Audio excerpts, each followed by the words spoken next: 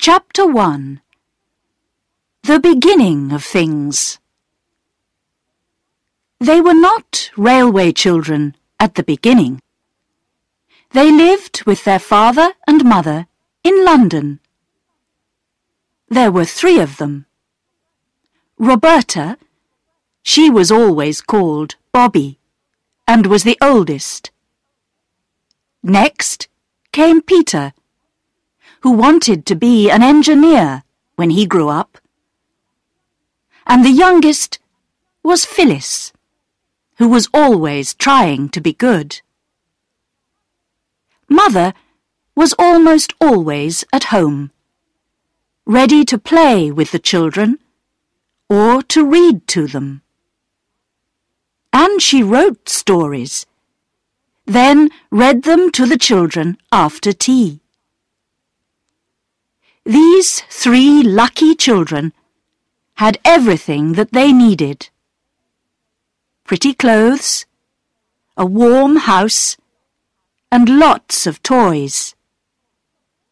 They also had a wonderful father who was never angry and always ready to play a game. They were very happy, but they did not know how happy until their life in London was over and they had to live a very different life indeed. The awful change came suddenly. It was Peter's birthday, and he was ten years old. Among his presents was a toy steam engine, and it quickly became Peter's favourite toy. But after three days, the engine went bang. Peter was very unhappy about his broken toy. The others said he cried. But Peter said his eyes were red because he had a cold. When father came home that day, Peter told him the sad story about his engine, and father looked at it very carefully. Mother and the children waited. Is there no hope? said Peter. Of course there's hope, said father, smiling. I'll mend it on Saturday, and you can all help me. Just then, someone knocked at the front door. A few moments later, Ruth, the maid, came in. There are two gentlemen to see you, she said to father. Now, who can they be? said father. Try to be quick, dear, said his wife. It's nearly time for the children to go to bed. But the two men stayed and stayed. Father's voice got louder and louder in the next room. But the children and mother could not hear what was said. Then Ruth came back and spoke to mother. He wants you to go in, Ma'am, she said. I think he's had bad news. Be ready for the worst. Mother went into the next room, and there was more talking. Soon after, the children heard Ruth call a taxi. Then there was the sound of feet going outside and down the steps. Mother came back, and her face was white. It's time to go to bed, she said to the children. Ruth will take you upstairs. But father, began Phyllis. Fathers had to go away on business, said mother. Now, go to bed, darlings? Bobby whispered, It wasn't bad news, was it? No, darling, said Mother. I can't tell you anything tonight. Please go now. Mother went out early the next morning, and it was nearly seven o'clock before she came home. She looked ill and tired, and the children asked her no questions. Mother drank a cup of tea. Then she said, Now, my darlings, I want to tell you something. Those men did bring bad news last night. Father will be away for some time, and I'm very worried. Is it something to do with the government? asked Bobby. The children knew that father worked in a government office. Yes, said mother. Now don't ask me any more questions about it. Will you promise me that? The children promised. Everything was horrible for some weeks. Mother was nearly always out. Ruth, the maid, went away. Then Mother went to bed for two days, and the children wondered if the world was coming to an end. One morning, Mother came down to breakfast. Her face was very white, but she tried to smile. We have to leave our house in London, she said. We're going to live in the country.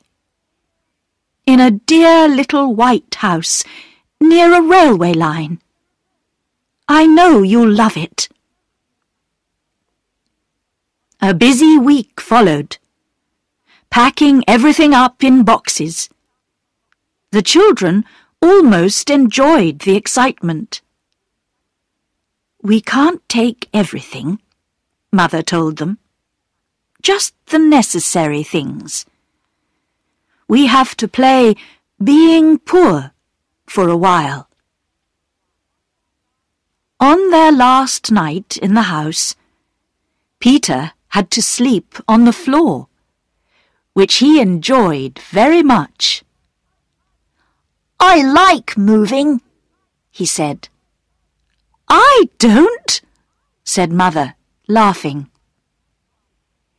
Bobby saw her face when she turned away.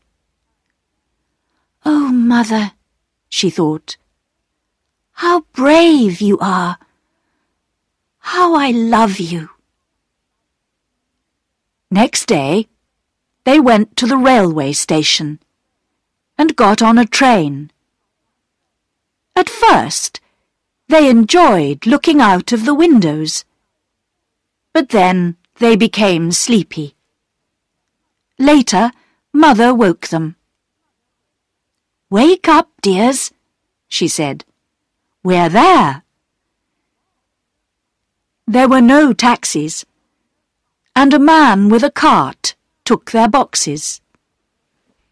The children and mother walked behind the cart along a dark, dirty road, which seemed to go across the fields. After a while, a shape appeared in the darkness. There's the house, said Mother. The cart went along by the garden wall and round to the back door. There were no lights in any of the windows. Where's Mrs. Viney? said Mother. Who's she? asked Bobby. A woman from the village. I asked her to clean the place and make our supper, said Mother. Your train was late, said the man with the cart. She's probably gone home. But she has the key, said Mother. It'll be under the doorstep, said the man. He went to look. Yes, here it is. They went inside the dark house. There was a large kitchen with a stone floor. But there was no fire, and the room was cold. There was a candle on the table, and the man lit it. Then a noise seemed to come from inside the walls of the house. It sounded like small animals running up and down. Then the cartman went away and shut the door. Immediately, the candle went out. Oh, I wish we hadn't come, said Phyllis.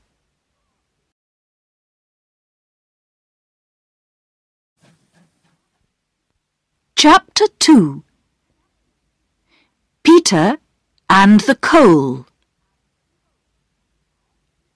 You've often wanted something to happen, said Mother, lighting the candle again. And now it has. This is an adventure, isn't it?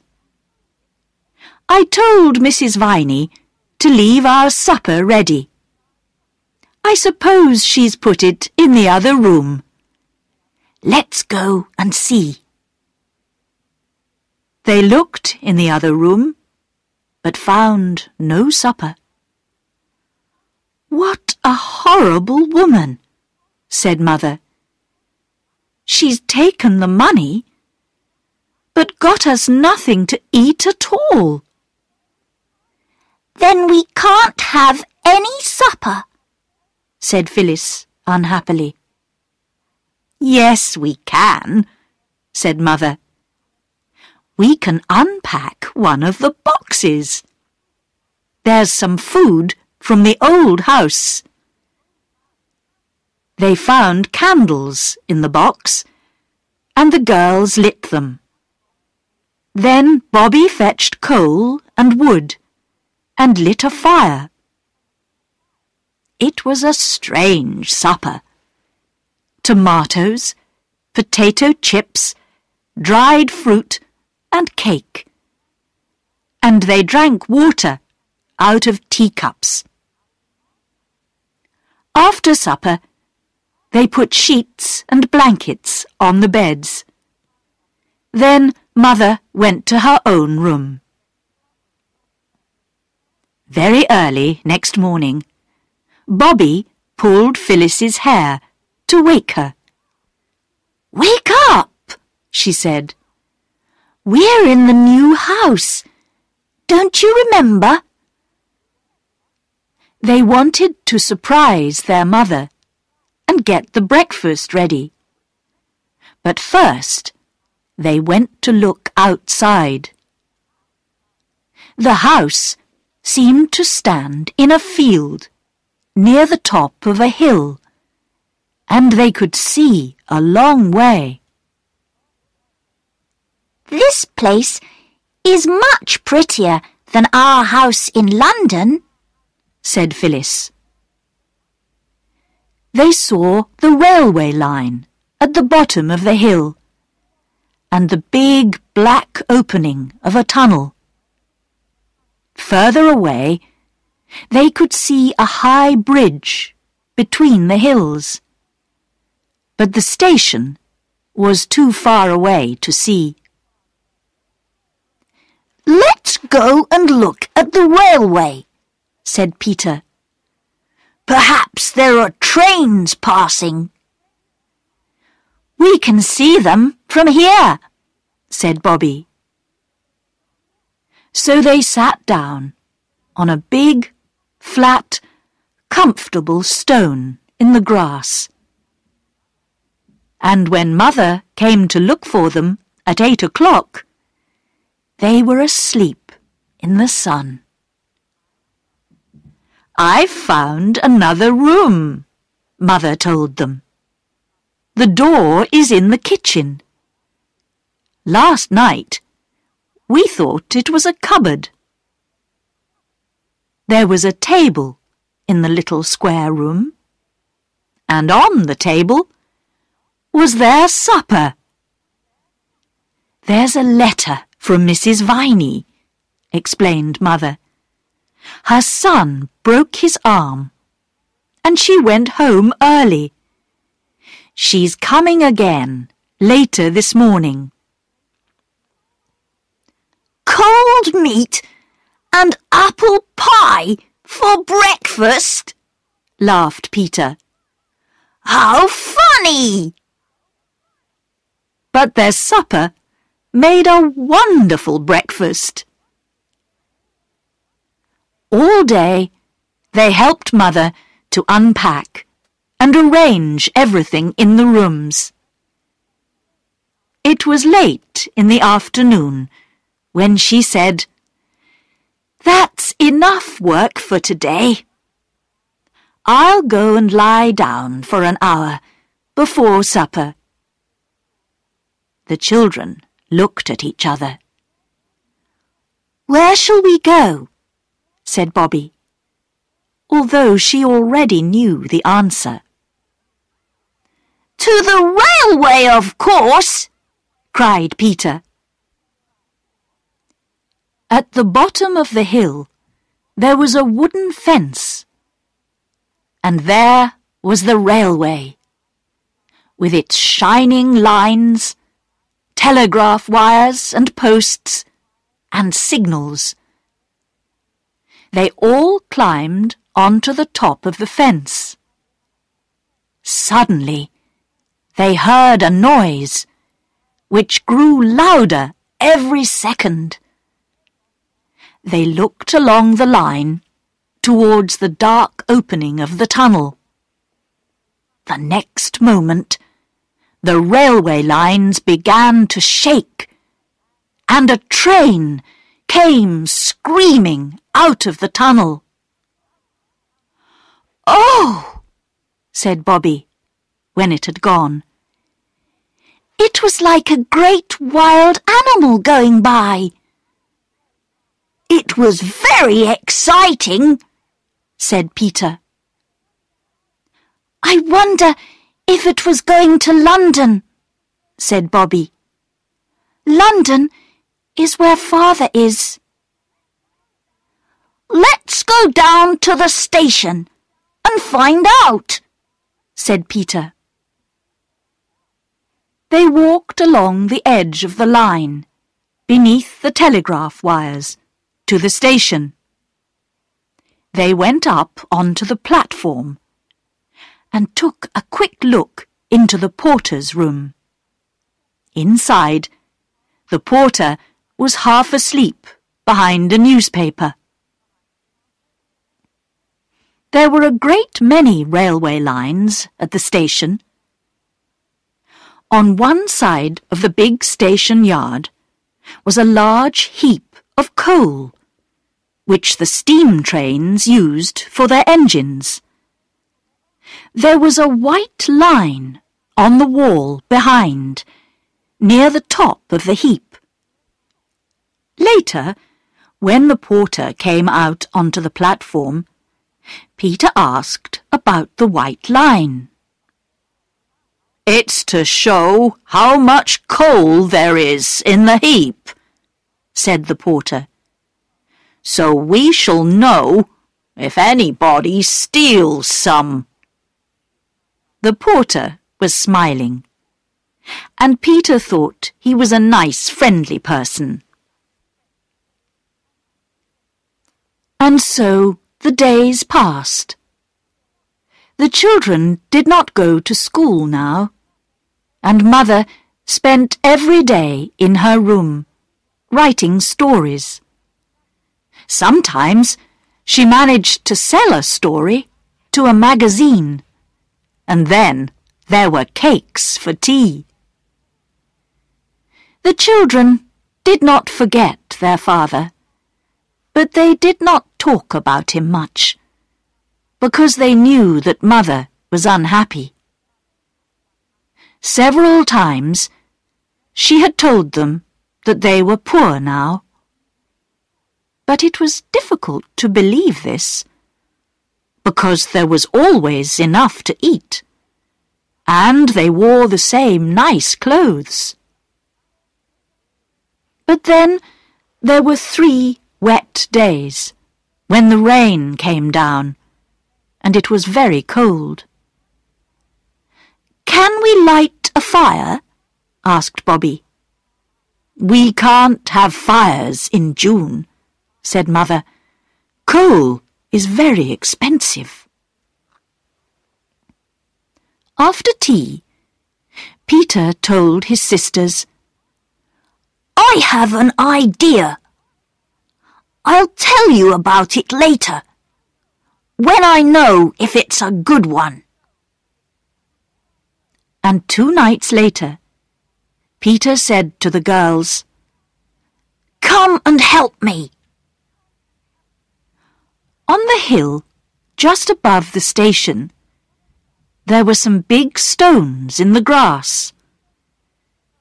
Between the stones, the girls saw a small heap of coal. I found it, said Peter. Help me carry it up to the house. After three journeys up the hill, the coal was added to the heap by the back door of the house.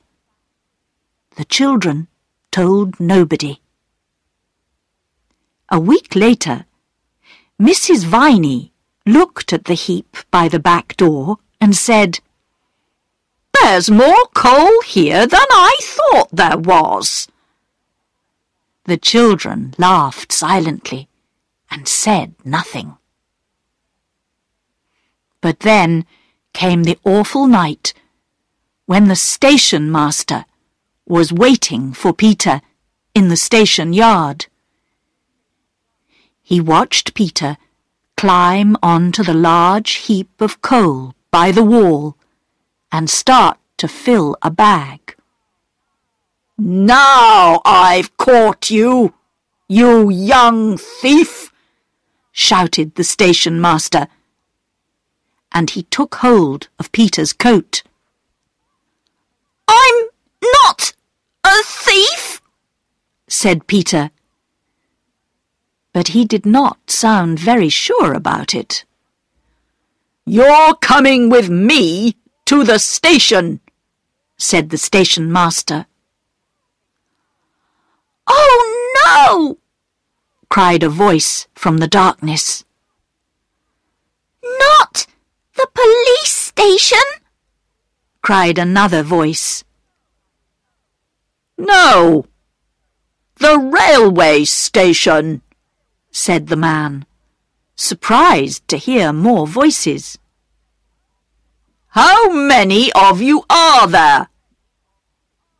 Bobby and Phyllis stepped out of the darkness. We did it too, Bobby told the station master. We helped carry the coal away, and we knew where Peter was getting it. No, you didn't, said Peter angrily. It was my idea. We did know, said Bobby. We pretended we didn't, but we did. The station master looked at them. You're from the White House on the hill, he said. Why are you stealing coal? I didn't think it was stealing, said Peter. There's so much coal here. I took some from the middle of the heap, and I... I thought nobody would mind. And Mother says we're too poor to have a fire but there were always fires at our other house, and... Don't! Bobby whispered to Peter. There was a silence, and the station master thought for a minute. Then he said to Peter, I won't do anything this time. But remember, this coal belongs to the railway. And even from the middle of the heap, it's still stealing. And the children knew he was right.